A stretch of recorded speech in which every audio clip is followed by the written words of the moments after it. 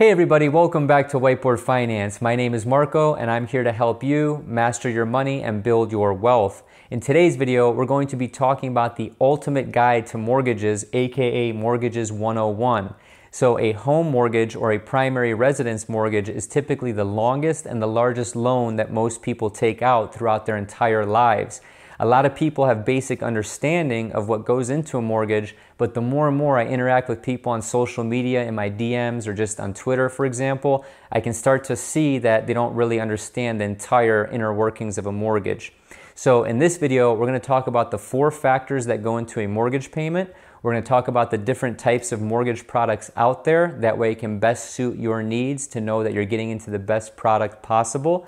Uh, I'm going to take you through a live demo of my own home affordability spreadsheet. That way we can mess around with the house price, uh, the down payment amount, the insurance, the taxes, all that good stuff. And I'm also going to take you through a live demo of an actual amortization schedule between a 15 and a 30 year mortgage. Let's get into it. Okay, so very quickly, let's run through the four factors that go into a mortgage payment. If you understand the acronym of PITI, that simply stands for principal, interest, taxes, and insurance. If you're a real estate investor, you know these four letters like the back of your hand. If you don't, let's run through these very quickly. So P stands for principal. This is simply just the amount of money that you owe the bank for lending you to be able to purchase the house that you're moving into, okay?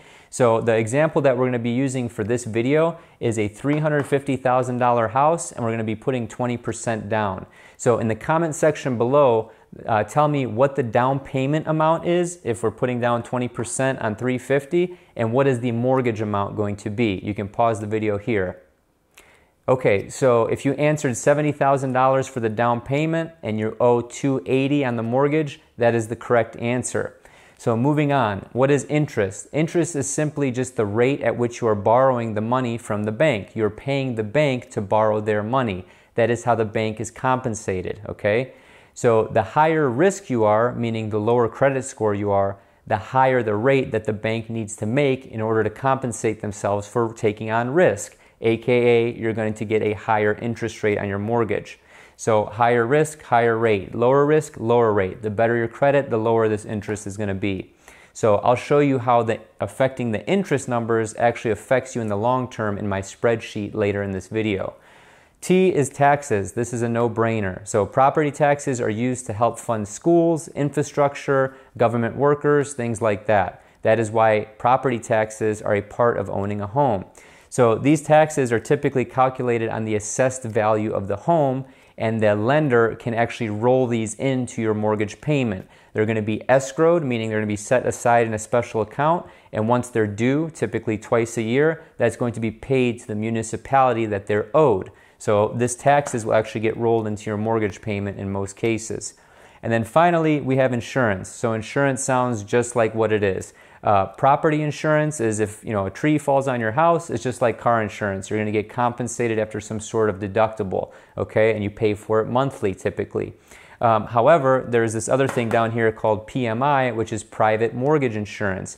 So typically, if you put less than 20% down on a property, PMI, private mortgage insurance, is typically there to allow the lender uh, to get some um, breathing room, if you will. This doesn't go towards the principal of your payment, it just allows the bank to be able to turn your property into a security and sell that mortgage to other bigger banks. Uh, and it also gives them a little bit less risk for taking on that mortgage if you don't have 20% down. Some cases, uh, lenders will allow you to put less money down with no PMI, which we'll get into right now. Okay, so we have five different types of mortgages. There actually are a few more, which I'll list at the end of this list, but these are the five most popular, starting with fixed rate mortgages. So, fixed rate mortgages, I'm sure you've heard this. This is what most people think of when they hear mortgages. These can be offered typically in 10, 15, 20, or 30 year increments. The most popular, obviously, being the 15 and the 30, with the 30 being the most popular overall. So this interest rate never changes. So if you remember the acronym PITI, Principal Interest Taxes Insurance, the interest portion of this loan over the course of the term, it could be 10, 15, 30 years, uh, that interest rate never changes. That's why it's called fixed rate. On the other hand, you have number two, which is called the adjustable rate mortgage or an ARM. So this has a rate that's fixed for a specific period of time typically the first number here, so you have five years, five years, and I'll explain that in a second here. It's fixed for a certain period of time and then it adjusts over time depending on the second number. Uh, so, for example, if we look at a 5 1 arm, that means that the first five years is fixed and then it adjusts annually every year after that. So these are typically based on the uh, one year treasury bills or LIBOR. Okay, so if you don't know what LIBOR is, it's just an acronym for London Interbank, Interbank Offered Rate. Um, so if you want to look at an example of a 5-5 that's fixed for five years, and then it's also fixed for every five year period after that. It adjusts every five years after that. So this typically benefits people that don't want to have a mortgage for long or they feel like interest rates are going to be going down. And if you've been following my channel at all at the time of this recording, you know what I how I feel about interest rates. Number three is the FHA loan. The FHA loan is insured by the Federal Housing Administration. This allows down payments all the way down to 3.5%. So when we talked about a 20% down payment, which is the example that we're going to use uh, in the beginning of the video and also on the computer, this actually allows you to put down 3.5%. So say for example, the house is $100,000. If you put 3.5% down on this, what is the number? Well, simple math tells you that it's 3500 bucks and you can get into this property, okay? This is typically for people with low credit scores. Uh, you're gonna pay PMI, the private mortgage insurance that we talked about, but it's a good way for people who have the lower credit scores and not 20% down to get into their first home. So fourth is a VA mortgage. This is just basically insured by the Department of Veteran Affairs. Uh, so veteran meaning you know military service people, that kind of a thing. The nice thing about a VA loan is that you don't have to have any down payment whatsoever. You can actually put down 0%. Okay, so on a $100,000 house, you can put down zero, if that makes sense. Uh, you will have to pay a VA funding fee. Um, it changes all the time. There's a table that I can link down in the description below. Um, and there's also no PMI on this 0% down payment. So basically, the VA loan is a great way to get into a home uh, with very little money down. Yes, your mortgage payment is going to be higher, which we'll go over in the spreadsheet, um, but you have very little money out of pocket, which actually allows you to potentially invest that difference. So this is a very good loan. Uh, and then fifth, we have the USDA loan. This is actually backed by the Department of Agriculture. Yes, the, that USDA. um, and basically, this allows you to get into a home with no down payment as well. However, you are limited uh, to basically home improvement loans or purchase loans, but it has to fall within a certain income limit, certain geography limit, and then also there's a property value cap. Uh, so you can't be buying, you know, mansions in the suburbs with this kind of a loan. It's typically more rural areas. Okay, so this benefits people who want to live a little bit uh, more rural and have a very little down payment out of pocket.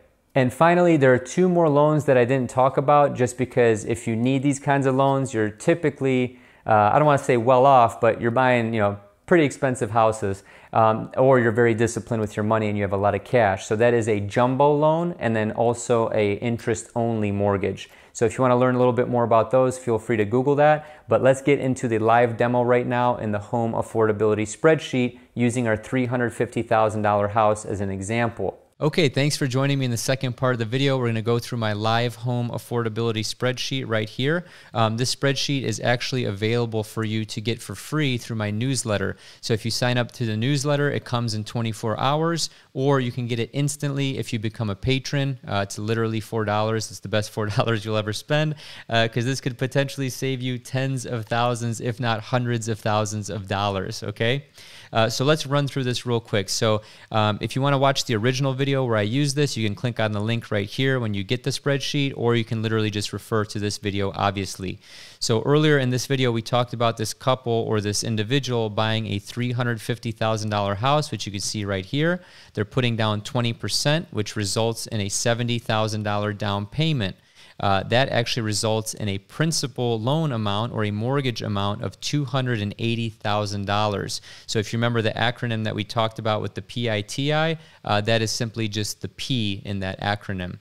So moving forward, you can see here that the interest rate that we're going to use is 2.89, uh, and we're also going to use that on a 30-year fixed rate mortgage. Uh, so typically, the most popular mortgage that is uh, used by people out there is a 30-year mortgage, and I'll play around with these numbers so you can see how everything changes. Uh, we're going with 12 payments per year, aka once a month, which results in a mortgage payment of $1,164.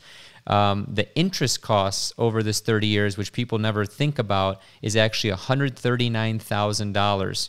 Uh, so let that sink in. If you put, if you pay the minimum amount over 30 years, your interest on this loan is going to be $139,000, resulting in a total cash outlay of $419,000 um, outside of the down payment. Okay, it's basically just the loan amount plus the interest gets you this number right here. Now, what most calculators don't take into um, calculation is that they don't ask you for the amount of taxes. So let's just take this home. Let's pretend like we're in a certain county that charges, you know, X amount of dollars. Let's just call it 6,500 per year. Now, the insurance on this house, we'll just use a thousand as easy numbers and maybe a little bit more depending on if you live in like a flood zone or a hurricane area, um, or if you're somewhere in the Midwest with tornadoes. I don't know, but we'll just use a thousand bucks for easy numbers. This is all editable. Uh, let's assume that this house is not in an HOA. If you did have an HOA, uh, you can bump it up right here, 25 bucks a month, for example. If you're in California, uh, here's 300. I'm just going to keep it at zero right now. So now what this spits out is right here, you can see that this cell is incorporating all these numbers right here. And I'm just exploding that by double clicking it. You're getting mortgage, taxes, insurance, and an HOA monthly payment of $1,789. And I basically added $400 of utilities here. You can change that right here in the top left. You can make it 300 you can make it, you know, 500, you can make it whatever you want. I just use 400 as a nice even number, and that's typically what utilities are where I live. Maybe a little bit less, but that's not the point. So anyway, this spits out two different numbers. You have everything all in right here. Uh, this is a majority of your housing costs, and then you have just the mortgage, tax, insurance, and HOA. Now, what we have over in columns uh, G through I, I actually provided three different scenarios of person one, person two, and any potential income. So if you're a single person, you basically put zero, you make 50 grand a year. This is what the numbers look like, okay? Very simple. Let's just pretend like we have a couple here um, and they both make equally $50,000 a year. This make, gives you a gross income of $100,000. This is where you can edit this if you want the total net income. All these numbers are based on net income. This is where a lot of people get into a lot of trouble because they start uh, going off gross income, which is not correct. Okay. So I basically took the gross income, multiplied it by 0.68, which you can see up here. And that is a fair estimation of taxes, you know, insurance, you know, all that stuff that comes out of your paycheck. You know, no one really makes 100% of what they, um, their annual salary is. Okay, so if you want to adjust that accordingly, you can do so in the top left. This results in a monthly net income based on these numbers of roughly $5,667. Now, the beauty of this is that you can actually see what percentage of the mortgage income. So you can see here with the mortgage, taxes, insurance, and HOA are taking up of your net income. And then you can see the second number with the all in number with the utilities. So you can see what pretty much your all in housing cost is going to be in terms of monthly net income. Okay. The nice thing about this is that it shows you what the monthly income is after your housing expense. So this is what these people have uh, monthly net minus the all in with the utilities. And then the, the final row down here is actually saying, okay, you make 100 grand a year, uh, but the house costs 350, so that's 3.5 times your income. Makes sense? And now the reason I provided three different scenarios is because uh, what if you get a raise and the other person, you know, changes their career and doubles their income, and you can just mess around with this, so on and so forth. The thing is, though, the reason why I'm showing you this is not to, you know, just advertise the spreadsheet. I couldn't care less about that. It's by showing you what interest rates and term and down payment does on a mortgage. So let's pretend that this is an FHA home, and now we have 3.5% down. Do you see how this affects the numbers? So they put less money down, they have a higher interest cost. Uh, it's taking up a bigger, way bigger chunk of their monthly net income because they have less uh, money down, and it's basically creating a um, less money outlay because they're only putting out 12,250, but they're also paying a lot more in interest over the course of those 30 years. And this is not accounting for PMI, which you have to add a couple hundred bucks more on top of this. Now, let's take a look at someone who puts down uh, if you want to go crazy and you have a, just a big amount of cash, you put down 50% on this home. The down payment is 175, um, but it also gets you closer to 30% all in, and you pay significantly less interest over the course of those 30 years. Let's stick with our example of 20%, and let's just turn this into a 15 year mortgage. Let's keep the interest rate the same right now. You can see that we went from $139,000 in interest all the way down to 65 just by cutting um, the payments in half. And by payments, I mean term, excuse me.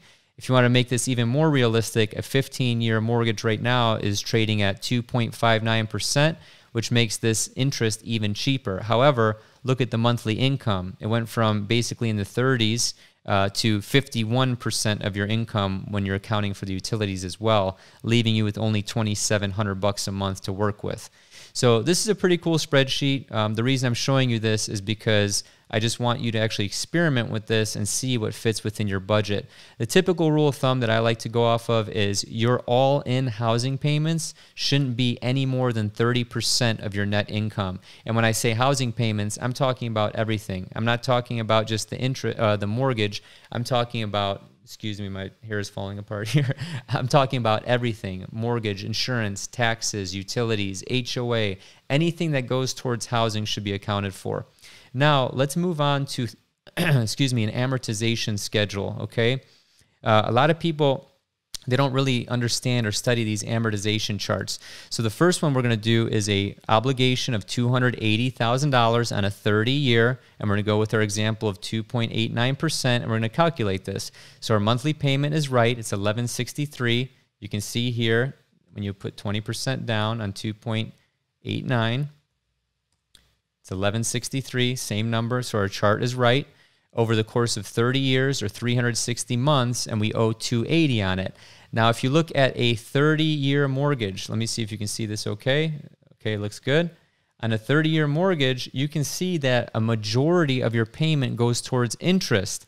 Although your payment is $1,163, only 489 is going towards the principal, meaning you're only building equity on 489 as opposed to 1163. So why is that? It's because uh, these mortgages are front loaded to pay more interest, especially on a longer term.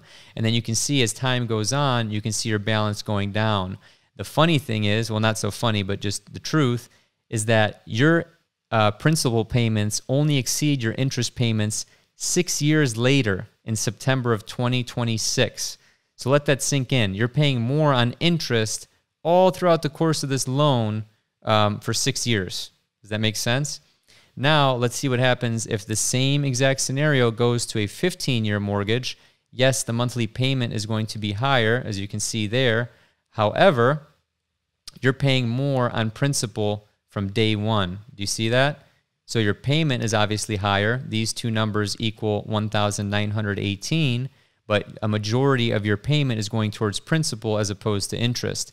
So if we go six years down the road again, just to make an apples to apples comparison, let's find September right here. You can see that almost $1,500 of this $1,900 is going towards principal as opposed to interest. Now, let's just get super crazy and say you took out a 10 year mortgage okay, at 2.89. Oh, and I apologize. I didn't change the 15 to 2.59%, which is going to make that interest uh, even smaller. Uh, so let's just call this 2.59 right now. Calculate. Boom. You can see that your payment is 2600 right here. However, 2 grand is going towards principal and only 600 is going towards interest. So that's all I got for you guys today. Um, I hope you found value in the acronym of PITI. I hope you found value in understanding the different types of mortgages. And I hope you found value in my spreadsheet, which you can get down in the description below. Uh, and then also, obviously, um, the amortization schedule that I just showed you. Um, so please share the video with a friend that's in the market for a home. This is a very valuable video and it helps break down a lot of the confusion that people have with mortgages.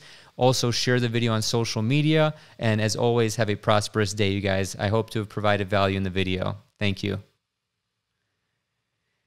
man, these people going broke out here, man. People taking 30 year mortgages, putting 10% down. They broke. Everybody's broke. Oh, I think this is still recording. Oops.